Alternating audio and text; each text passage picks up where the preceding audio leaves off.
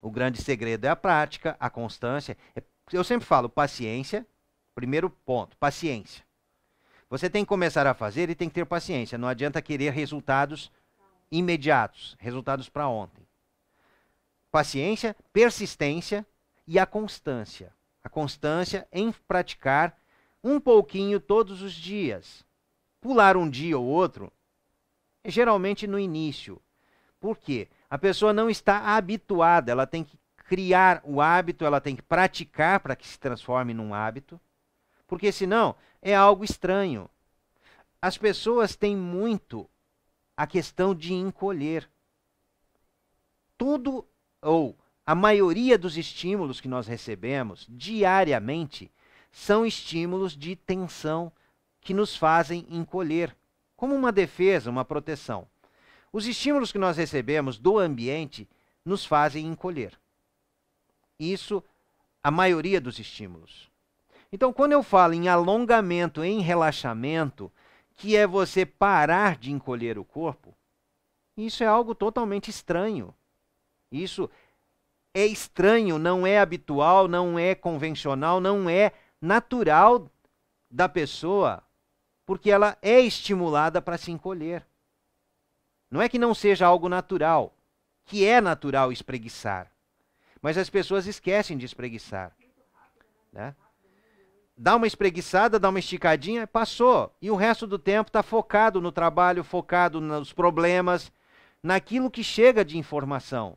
Então, a quantidade dos estímulos que a gente recebe para encolher é muito grande. Aí quando eu falo alonga, relaxa, se solta, isso às vezes até soa estranho. Mas à medida que a pessoa começa a ter a persistência e a constância, se torna habitual. E eu mesmo, hoje, muitas pessoas que eu conheço, eu não consigo ficar sem me alongar, sem soltar o corpo, porque eu também recebo muito estímulo para encolher. Mas na hora que o estímulo chega, eu sinto que eu estou encolhendo o corpo e solto. Eu não deixo o meu corpo ficar encolhido. E todos os dias eu faço. Antes de sair da cama de manhã, eu já me alongo. No meio do dia, eu alongo. Não uma nem duas, várias vezes. Eu posso estar trabalhando. Eu estico o braço para baixo, solto a cabeça para o outro lado. Eu já aliviei a tensão no ombro que eu estou aqui no computador ou no celular. É, à noite, a hora que eu vou dormir, todas as noites, eu alongo para aliviar as tensões no corpo para eu dormir rápido.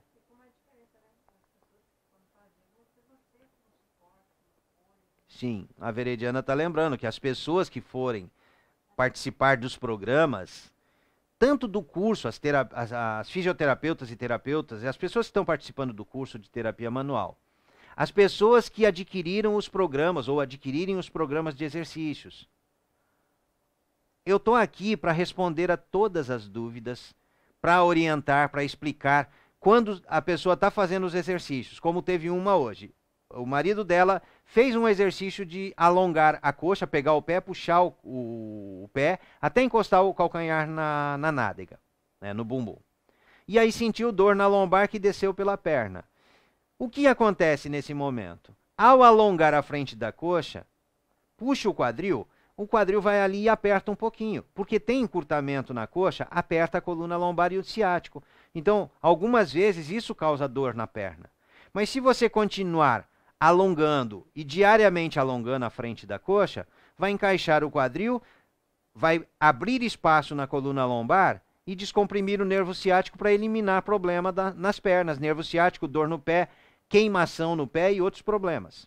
Encaixou o quadril, melhora a postura. Melhorou a postura, a pessoa já respira melhor, ajuda na respiração. Alongou tórax, alongou pescoço, corrigiu postura, o corpo vai voltando à sua condição normal. Então, muitas dúvidas que as pessoas têm, limitação, dificuldade, eu estou aqui para responder. E agora eu estou organizando dentro dos próprios programas, porque até então era por WhatsApp ou e-mail. Agora vai ter um fórum dentro de cada programa, de cada curso lá de programa de exercícios, vai ter um fórum para debate, para tirar dúvidas lá dentro, em vez de ficar mandando mensagem por WhatsApp, a pessoa vai chegar lá e vai escrever a sua dúvida.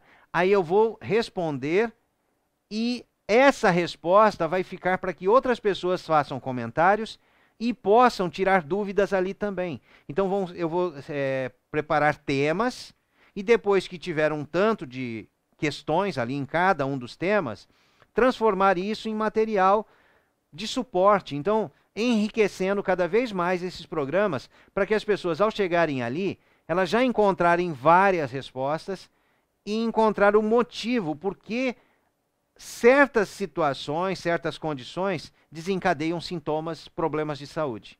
Então as respostas estarão ali e se não estiverem, é só mandar a pergunta que eu vou responder e orientar o que fazer. Principalmente orientar o que fazer.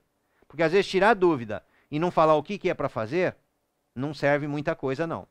Agora, quando tira a dúvida, esclarece, explica e o que, que você faz que vai melhorar e a pessoa faz e melhora, aí sim está sendo eficiente, está tendo a sua função o programa de exercício. Ou o meu trabalho está tendo função de ajudar as pessoas.